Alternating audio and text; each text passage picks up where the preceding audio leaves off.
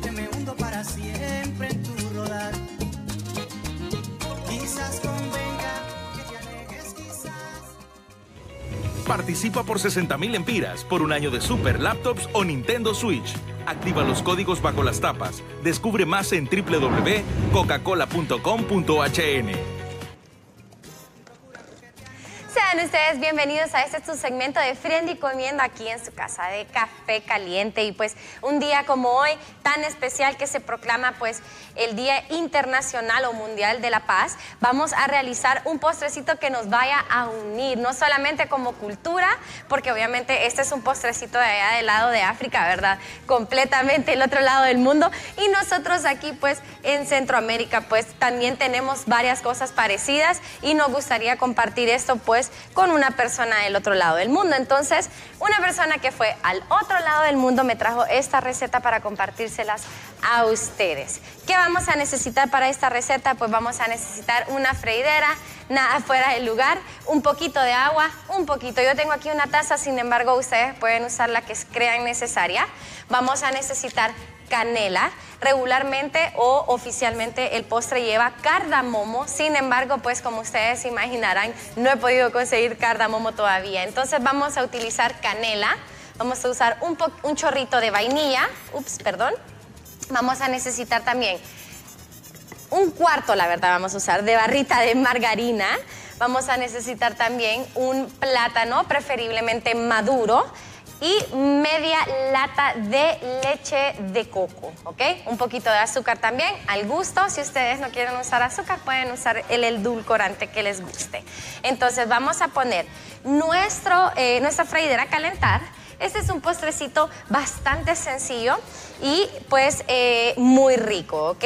Algo fuera de lo normal porque regularmente nosotros utilizamos bananas, ¿verdad? Para poder... Eh, hacer postres y en este caso vamos a usar plátano. Entre más maduro está el plátano, plátano perdón, creería yo que mejor. Sin embargo, usted puede pues empezar con un plátano pues camulián como este o un plátano casi maduro.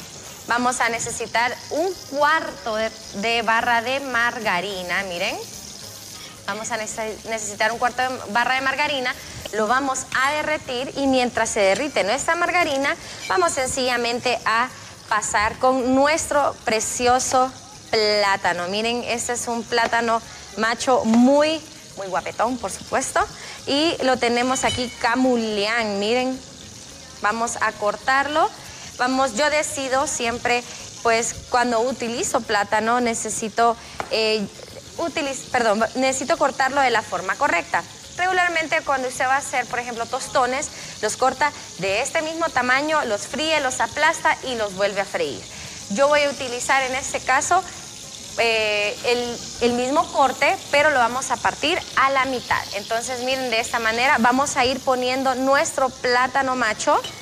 Vamos a irlo incorporando a nuestra margarina, perdón. Casi siempre usamos mantequilla, yo sé pero hoy vamos a usar margarina.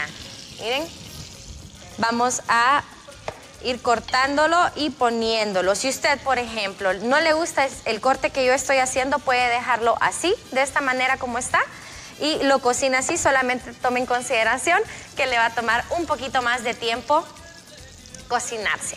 Entonces, vamos a ir poniendo los plátanos en nuestra margarina y a medida va poniendo uno los pedazos de plátano, se va enfriando nuestro, nuestra margarina, ¿no? Entonces vamos a tener que ir aumentando el fuego.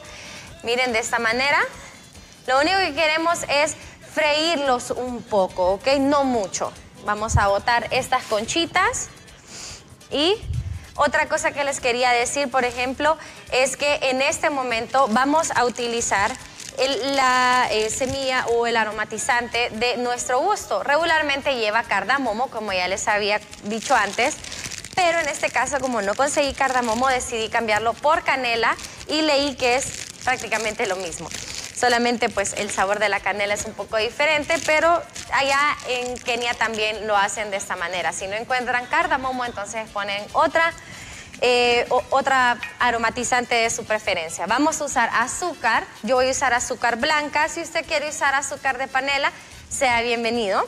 Y como les dije también, si ustedes quieren ponerle miel o quieren ponerle el, edulcorante para, por ejemplo, para personas que, que tienen problemas del azúcar y quieren cambiar eh, ese edulcorante, pues bienvenido sea. Miren, vamos a ponerle a un fuego alto, es casi como el mínimo en gloria. No sé si ustedes alguna vez han hecho mínimo en gloria, sé que no lo hemos hecho en nuestros segmentos, pero vamos a hacerlo, no se preocupen. Es parecido la técnica. ¿ok? Lo único que queremos es que caramelice un poco y después inmediatamente vamos a ir incorporando el agua y nuestra leche de coco para finalmente agregarle también el poquito de azúcar. Luego de esto lo que vamos a hacer es que lo vamos a dejar a un fuego bajo con, leche de co- con nuestra leche de coco y lo vamos a dejar a un fuego bajo por aproximadamente unos 15 minutos, que es este que ya tenemos aquí, que ya les voy a mostrar al terminar esta receta. Miren qué cosa más rica, lo vamos a servir aquí. Vamos a ver, ya cuando está caramelizando el azúcar, entonces vamos a poner con mucho cuidado porque el azúcar es muy delicada. Un poquito de agua y vamos a bajar el fuego a un fuego bajo, como les digo. Y vamos a involucrar media lata de crema o leche de coco, la que a ustedes más les convenga. Yo preferiría pues la leche de coco porque es más fácil de trabajar.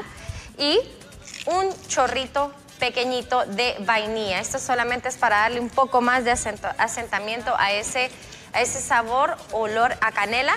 Y lo dejamos, como les dije, a un fuego bajo eh, durante 15 minutos. Obviamente, como yo ya les había comentado por cuestiones de tiempo, pues ya tengo aquí nuestro postrecito, lo vamos a apagar. Y de esta forma queda, miren qué humeante, delicioso. Este es súper rico este postre, es algo diferente que va a llegar a su mesa para que usted deleite a esos comensales que tienen en casa y pues lo vamos a presentar de esta manera. Miren, un postrecito muy rico. Créanme que van a ver muchos abuelitos encantados con este postre y pues por supuesto hay niños que, que les encanta el dulce, a los niños les encanta el dulce, a los abuelitos también y miren de esta manera queda. Espero que les haya gustado mi receta el día de hoy. Vamos a pasar con muchísimo más de café caliente, usted no se nos mueva. Continuamos con más.